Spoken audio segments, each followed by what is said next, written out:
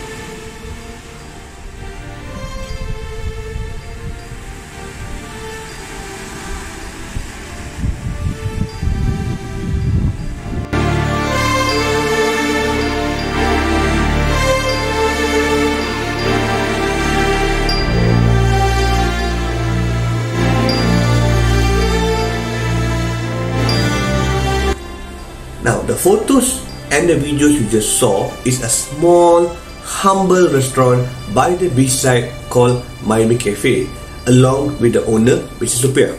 Now, its foods, its foods are quite cheap, and the the food are delicious too. However, I am more intrigued with the backstory of the place. What I'm going to share you is the true story. 24th December 2004 Boxing Day tsunami.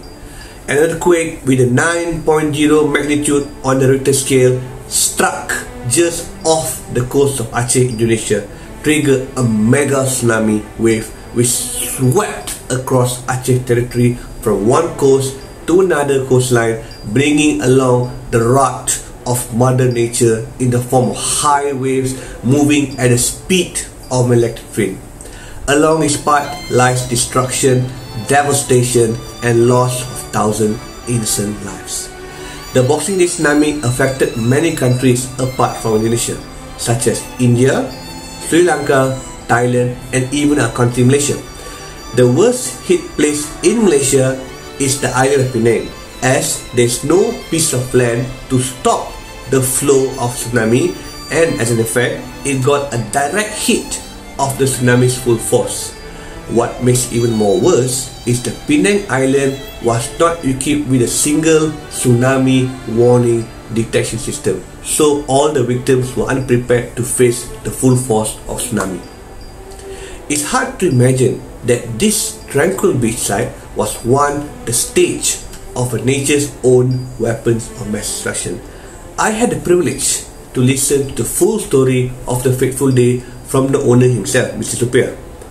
According to him, at the very beach that we stood on, 57 people lost their lives. All of them were locals.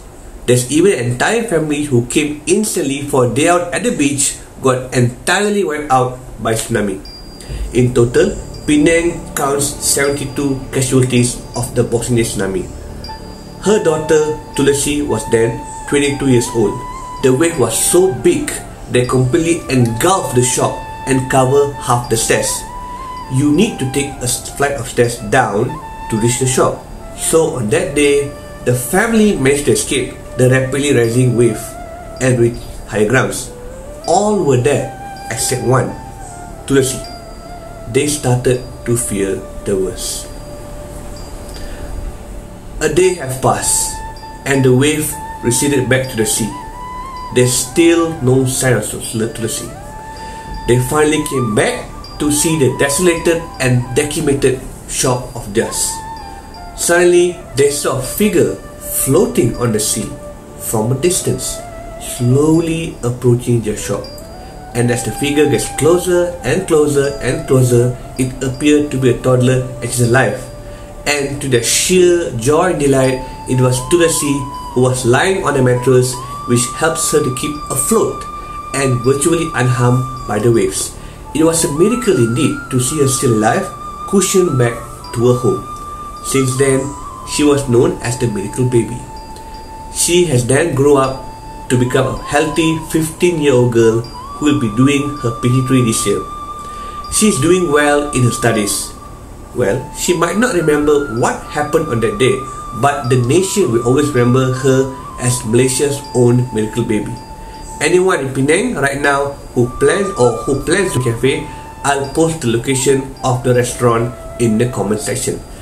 Thank you so much for watching this video. I'll see you all next video. Till then, take care and goodbye.